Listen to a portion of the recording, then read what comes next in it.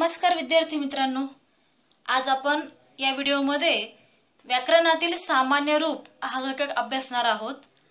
एक गुणांसाठी कृतीपत्रिकेमध्ये या घटकावर कृती विचारली जाते.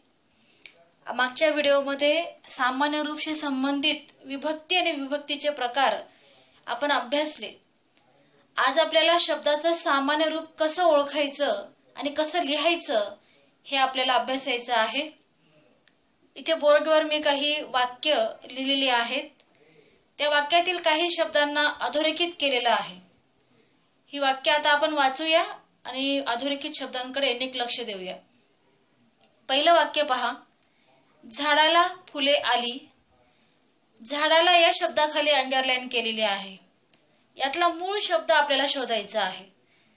या शब्दातला मूळ शब्द आहे झाड. त्याला लावलेला ला हा विभक्ती प्रत्यय आहे. झाड अधिक ला असा हा झाडाला हा शब्द तयार झालेला आहे. त्याची आपली आपण फोड केली मूळ शब्द बाजूला केला त्याला लावलेलं विभक्ती प्रत्यय बाजूला केलं आणि अशा पद्धतीने झाड अधिक ला अशी त्या शब्दाची फोड झाली. दुसरं त्यातलंच वाक्य पहा. झाडाजवळ संजय उभा आहे. झाडाजवळ या शब्दाखाली अंडरलाईन केलेली आहे. त्यातील मूळ शब्द जो आहे तो झाड अधिक जवळ हा जवळ हा जो शब्द आहे हा शब्दयोगी अव्यय आहे. शब्दांच्या ज्या जाती आहेत त्या शब्दांच्या जातीतील शब्दयोगी अव्यय ही एक प्रमुख जात आहे. शब्दांना जोडून येणाऱ्या अव्ययांना शब्दयोगी अव्यय असे म्हणतात. आता झाड या शब्दाला जोडून जवळ हे अव्यय आलेलं आहे म्हणून जवळ हे शब्दयोगी अव्यय आहे. मग झाडाजवळ या शब्दाची आपण फोड केली त्यातला मूळ शब्द बाजूला केला आणि त्याला लागलेला शब्द योगी अव्यय बाजूला केला झाड अधिक जवळ. दुसरं वाक्य पहा माधव शाळेत जातो. यातला शाळेत या शब्दाखाली अंडरलाईन केलेली आहे. मूळ शब्द आहे शाळा. त्याला त हा विभक्ती प्रत्यय लावलेला आहे. शाळा अधिक त तयार झालेला शब्द शाळेत. शाळेपासून घर लांब आहे. शाळेपासून या शब्दाची फोड आपण करू. त्यातला मूळ शब्द बाजूला करायचा आहे आणि त्याला लागलेला शब्द योगी अव्यय बाजूला करायचा आहे. त्यातला मूळ शब्द जो आहे तो आहे शाळा. अधिकपासून हा शब्द योगी अव्यय आहे. शाळा अधिकपासून शाळेपासून हा शब्द तयार झालेला आहे. तिसरं वाक्य पहा. कावळ्याचा रंग काळा आहे. कावळ्याचा या शब्दाखाली अंडरलाईन केलेले आहे. अधोरेखित शब्द केलेला आहे. त्यातला मूळ शब्द आहे कावळा. त्याला लावलेला प्रत्यय आहे चा. विभक्ती प्रत्यय आहे हा.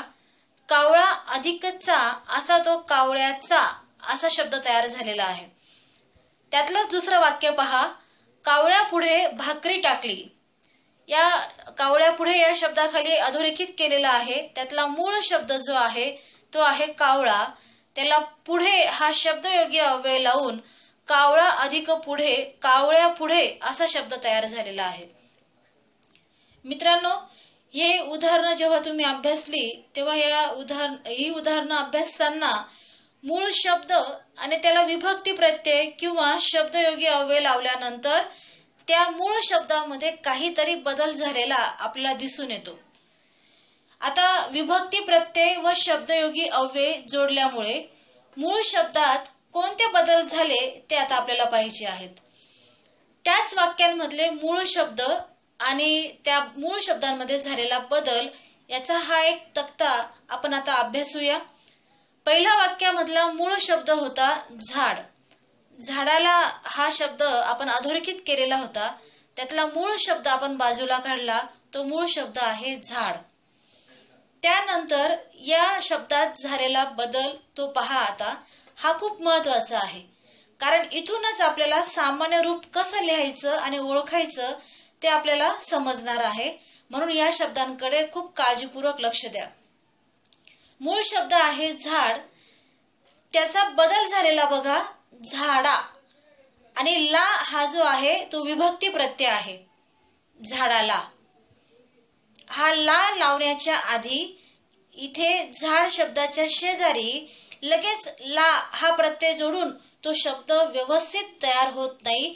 तसा जर लावला मित्रांनो तर तो शब्द कसा तयार होईल? झाडला. आणि असा मराठीत शब्द नाही.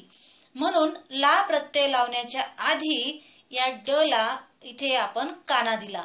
आणि तेव्हा तो ला प्रत्यय जोडून झाडाला असा शब्द तयार झाला. त्यानंतर त्यातलाच दुसरा शब्द पहा. जवळ हा शब्द योगी अव्यय जोडण्याच्या आधी सुद्धा झाड या शब्दामध्ये झालेला बदल तुमच्या लक्षात येईल. तिथेही ड ला आपण काना दिला आणि मग शब्दयोगी अव्यय जोडून झाडाजवळ असा शब्द तयार केला. त्यानंतर दुसरा शब्द पहा शाळा. आपण शब्द लिहिला होता वाक्यामध्ये शाळेत. आणि हा त प्रत्यय जोडण्याच्या आधी हा शाळा मूळ शब्द जो आहे त्या शब्दात काय बदल झाला? तर या ठिकाणी शाळा या मूळ शब्दाचा बदल होऊन शाळे हा शब्द तयार झाला आणि त्याच्या पुढे त प्रत्यय लावून शाळेत असा शब्द तयार केला गेला.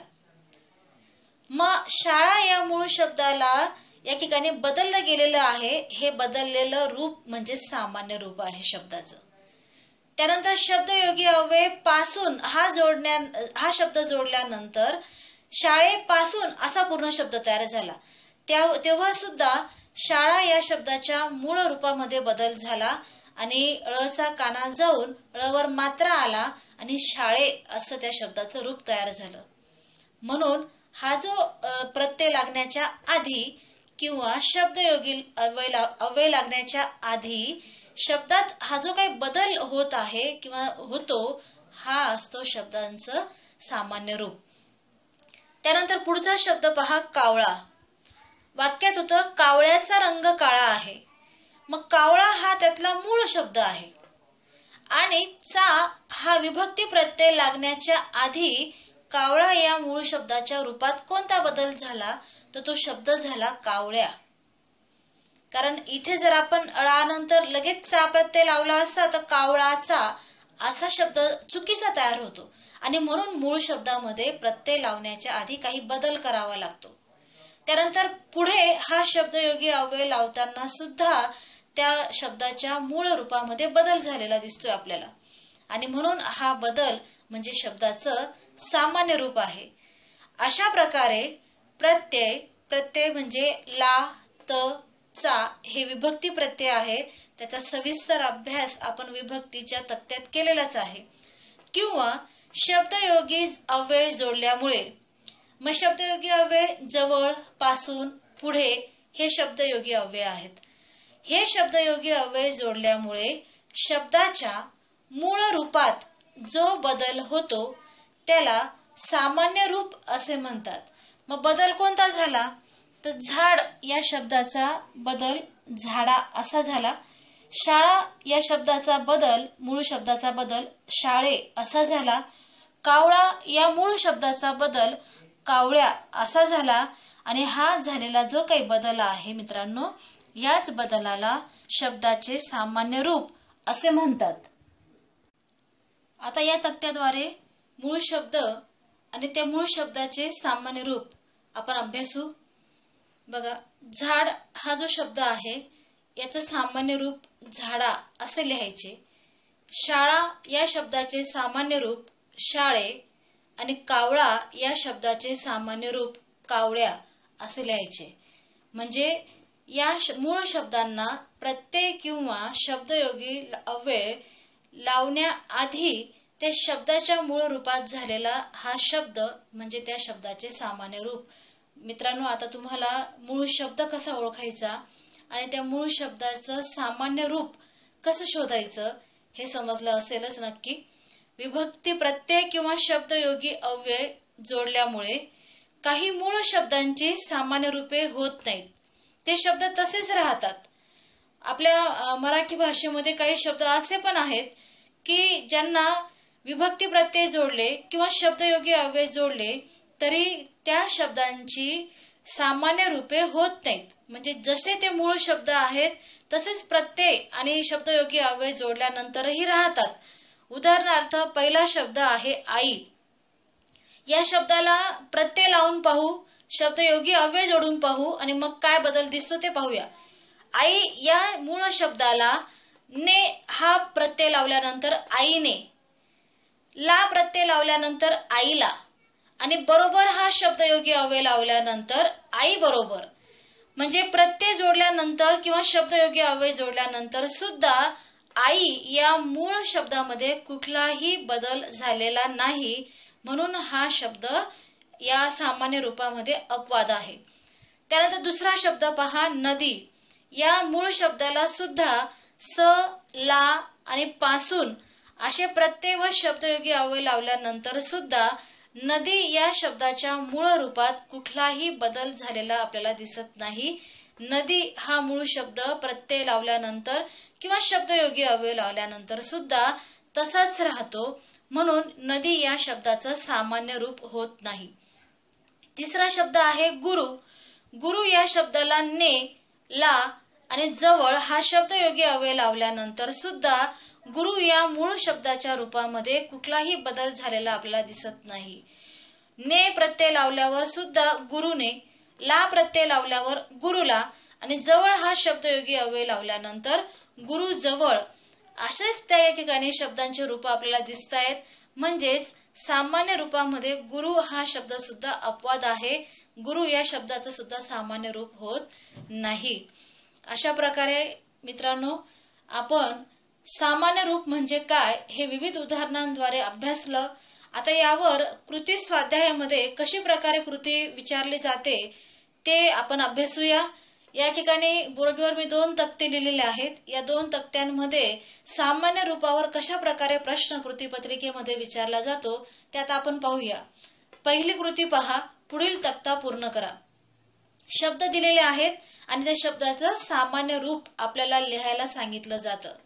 चार शब्द दिलेले आहेत. पहिला शब्द आहे धोव्याने. आता तुम्ही व्हिडिओ ऐक ऐकता आहात पाहत आहात. माझ्या आधी तुम्ही पटकन सांगाल या शब्दाचं सामान्य रूप काय आहे. धोव्याने या शब्दाचं सामान्य रूप आहे धोब्या म्हणजे ने हा प्रत्यय लागण्याच्या आधी धोबी या मूळ शब्दामध्ये झालेला हा जो काही बदल आहे तो बदल आपण सामान्य रूपामध्ये लिहायचा आहे. शाळेतून तून हा शब्द प्रत्यय लागण्याच्या आधी झालेला बदल म्हणजे शाळे हा बदल आपण सामान्य रूप या तथ्यात या कॉलममध्ये लिहायचा आहे. संगीताने संगीता या मूळ शब्दाला ने प्रत्यय लागण्याच्या आधी त्या ठिकाणी काय बदल झालेला आहे? तर तो बदल आपण या ठिकाणी लिहायचा आहे. त्यानंतर हाताला हात या मूळ शब्दाला ला प्रत्यय लागल्यानंतर त्याच्या मूळ शब्दात झालेला बदल म्हणजे हाता हा आपण सामान्य रूप या तक्त्यामध्ये लिहायचा आहे. म्हणजे या ठिकाणी आपली उत्तरं कशी येतील? तर पहिल्या ठिकाणी धोब्याने याच्या समोर धोब्या. शाळेतून या समोर शाळे. संगीताने याच्या समोर संगीत. चौथ्या शब्दाच्या समोर हाताला या शब्दाच्या समोर हात. ही त्या शब्दाची सामान्य रूपे आहेत. आता दुसरा तक्ता पहा. पुढील तक्ता पूर्ण करा. शब्द दिले आहेत. त्या शब्दातलं विभक्ती प्रत्यय वेगळं करून ते लिहायचं आहे आणि शिवाय त्या शब्दाचं सामान्य रूपही आपल्याला लिहायचं आहे. आणि शब्द आहेत पहिला शब्द दुःखात. याला विभक्ती प्रत्यय कोणता लावला गेला मित्रांनो या शब्दाला? तर त हा विभक्ती प्रत्यय आहे तो इथे लिहा. त्याचं सामान्य रूप कसं झालं? त लावण्याच्या आधी दुःख दुःखा. हे सामान्य रूप झालं. म्हणून या ठिकाणी लिहा दुःखा. इथे त आणि इथे दुःखा. दुसरा शब्द आहे कर्व्यांनी. याला विभक्ती प्रत्यय लागला गेलेला आहे नी. तो इथे लिहा. आणि सामान्य रूप लिहिताना नी प्रत्यय लागण्याच्या आधी हा जेवढा शब्द तयार होतो तो इथे लिहा. म्हणजे कर्व्या. अनुस्वारासह हा शब्द सामान्य रूपात लिहा. तिसरा शब्द आहे कन्येशी. शी हा विभक्ती प्रत्यय इथे लिहा आणि कन्ये हे सामान्य रूपात लिहा. स्वातंत्र्याचा चा हा विभक्ती प्रत्यय आहे तो या ठिकाणी लिहा. आणि स्वातंत्र्या हा हा त्या शब्दाचं सामान्य रूप आहे ते या ठिकाणी लिहा. पहा मित्रांनो अशा प्रकारे आपण विविध उदाहरणं पाहून त्यावरचे कृती स्वाध्याय पाहून सामान्य रूप हा व्याकरणाचा घटक आपण अभ्यासला. मी अपेक्षा व्यक्त करते की एवढ्या उदाहरणांद्वारे कृतींद्वारे हा भाग तुम्हाला व्यवस्थितरित्या समजला असेल. आणि नसेलही समजला तर मी आहेच. मला केव्हाही विचारा. पुढचा व्हिडिओ येईपर्यंत तुम्ही आपल्या या वहीमध्ये व्याकरणाच्या वहीमध्ये या व्हिडिओमधील सर्व माहिती व्यवस्थितरित्या जशी बोर्डवर दिसते आहे तशीच आपल्या वहीमध्ये उतरवून घ्या. ती अभ्यासा आणि पाठ देखील करा. यासारखे आणखीन इतरही उदाहरणं तुम्ही अभ्यासा. या कृतीवरचा जो स्वाध्याय आहे त्याचा फोटो मी तुम्हाला टाकेल आणि तो फोटो पाहून तो स्वाध्याय पाहून आपल्या व्याकरणाच्या वहीत तो सोडवा. तोपर्यंत स्वतःची काळजी घ्या. धन्यवाद.